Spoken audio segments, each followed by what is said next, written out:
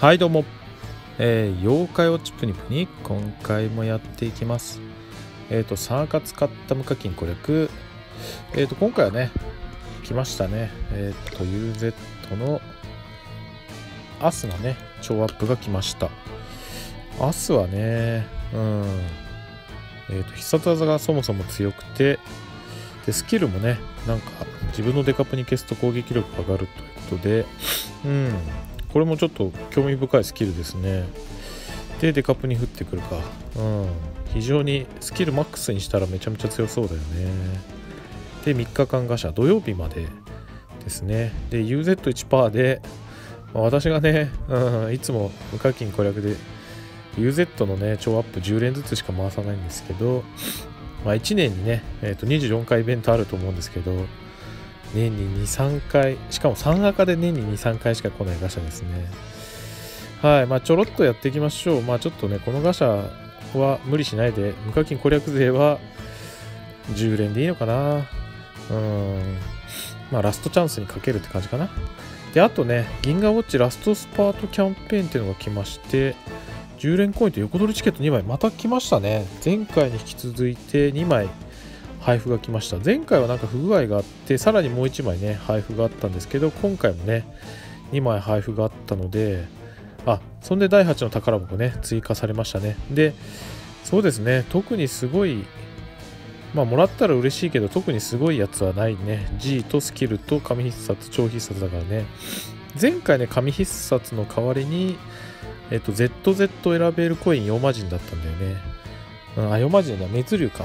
うん、だったので、まあ、今後も第8の宝箱はそこまでと思わなくていいんじゃないかな。はい。ということで、横取りチケットは今回、今回もいいですね。うん。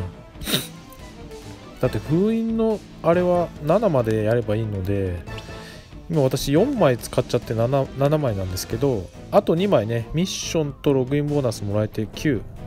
もともとね、えっ、ー、と、11枚か、今回、交換3ミッション6、ログインボーナス2で、うん、11枚ね、来てて、私、ワクワクボックスで2枚ゲットしたので、えっ、ー、と、13枚。で、さらに今回2枚だから15枚か。15枚相当で4枚使っちゃったから、マックス11枚だな。いけんので、まあそうすると11枚で6、7、8攻略しろやってことなんで、まあ、あと1枚ね、ワクワクボックス来てくれれば、うん、344でクリアできるか。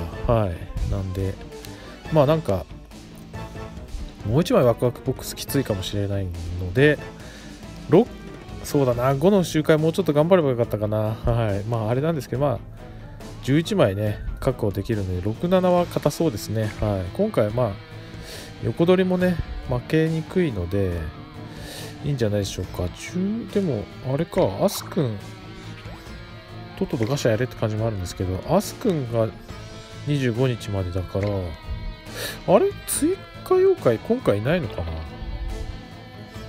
な ?7、8、9、10日目、10日目追加妖怪来るのかな？よくわかんないんだけど。あれ、段取り追加妖怪なのかな？まあいいや、とりあえず10連ポロッとやっちゃいましょうか。今回段取りまだ出てないんだっけ？段取り絶対いい妖怪だよね。今までの段取りの優遇っぷりすごいもんな。あ段取りいないね。じゃあやっぱ段取り追加なのかな。行きましょう。そう私今回ね。いやもうちょい頑張ればよかったかな。でもあんまり意味ないんだよな。粘ってもね。影ロし。さあ。そうあとはウォッチゲットだよな。だから水星ジバニャンとかすり抜けてきてくんねえかな。まあちょっとこの UZ ガシャは10連だけにします。うん。まあしょうがないこの辺はね。さあ金いきます。せーのドン。おおすり抜けましたね。急突まで来た。この子超アップの時も超アップ水星のジバニャの時に来てさらに自分の超アップの時も来てそして何でしたっけ？えっ、ー、と UZ 超アップでも来たの。3連続で来ましたね。うん。なので急突です。ミカねめちゃめちゃ使いやすいのでおすすめですね。ちょっとまあ今回これぐらいにしときますね。ラストチャンスでちょっと取っときたいのでうんミカねすごい今回私も限界突破すること限界突破ねしましてヒットポイントもねあヒットポイントレベルももうすぐ上げ終わるんですけどまあなんといってもねこのねサイズ4以上のデカップに消すと技ゲージアップっていうのがすごい良くてこれ自分じゃなくて誰でもいいんですよね。だから他の4体のの、うん、サイズ4以上のデカップに消すと技ゲージアップするので結構ね必殺技連発しやすいんですよね。でサイズアップでしょ？スキル2が。なので非常にすごいありがたい妖怪なんでちょっと今ねスキル3とか中途半端にしてるんですけどねもうちょっとぶっ込んであげたいなっていうね感じで。まあちょっとその辺はイベントクリアとちょっと様子を見ながらやりたいと思います。なんならうん。で今なんだっけ？ランドリーのとこ周回してるんですけど必殺の消費必殺がね6冊落ちましたね。あと普通も3冊ぐらい落ちたんでまだねちょっと大ボスの方倒せてないんですけど。うん。いい感じかな？はい。一応真ん中ね王族にしてなるべくね横取りされないようにしてます。でさっきも言いましたが横取りは第4まではねえー、っと横取りなしで揃いましてうん。で第3が本当に運が良かったな。いろんな人のコメント聞いてると。これでもまた横取りなしで揃っちゃってって感じですね。でただその反動が来たのが第5のお宝は4個も横取りしちゃったのではい。なんで678はね11枚でなんか一応4個も落ちたのでただまだねこの辺が 1, 個しかないのでこのね青と黄色が2つ以上になったらまあ真ん中王族外してもいいんですけどまあなるべくね王族真ん中にしてそうするだけでもねかなり横取りやられる確率が減るのでなので今後はねほんと横取りされないことが大事になってくるので結構みんな真ん中王にしないでうん、いるんで、まあ、そういう人たちがね多分余裕がある人たちなんだと思うんですけどそういう人たちが横取りね、うん、されてくれるので されてくれるって言い方も失礼なんですけどはい。ほんとね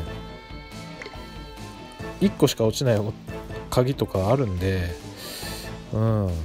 なので横取りされないことがね本当に大事になってくるかな。はい、ただまあ7はねさっきも言ったけど硬いのと本当8こんな8こんぐらいだったら最初から言ってくれればもう本当ね8なんて無視だよってね感じもあるんではい。そんな感じかな。まあ2枚ね配布になったんでいいなというところですねはいじゃあ今回こんな感じしまちょっとアス君はなんとかねうん最後に仕留めたいのと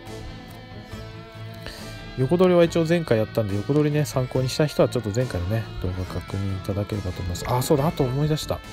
あと、ウォッチですね、最後ね。ウォッチ私は、だから横取りが終わったので、そうまだ受け取ってないけど、ベルトとベゼルはもうあるんで、あとチップですね。だからチップは本当は水星ジバニャンがあると周回楽なんですけど、まあいないので、あとはゴージャス。そうだな、めんどくせえけど、まあ、あるか、でもなんかラストチャンスでジバニャン来そうなんですけど、まあ、ゴージャス、今ね、どっちかっつうとこっちの、あの、ダンドリーでね、周回してるんですけど、まあ、ゴージャスのね、周回、今、ただ、さっきも言ったけど、お宝がね、1個しかないところが2つもね、あるので、まあ、複数、2になったら、まあ、ダンドリーのね、とこで、これサイズアップいいんですよ、これ。うん、そんで、これであっという間に倒せちゃうんで、それで不足の秘伝書もね、結構できるんで、まあしかも色が白くて見やすいしね。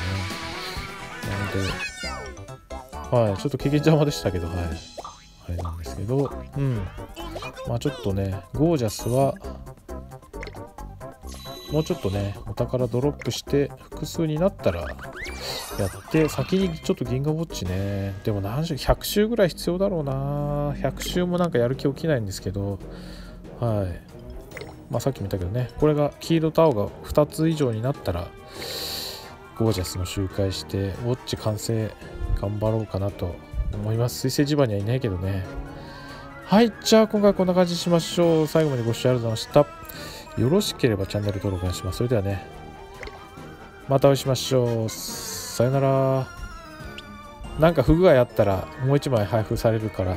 不謹慎ですけどなんか不具合あったらいいなー。ってねごめんなさい。でもラストラストスパートキャンペーンいいね。ありがたい。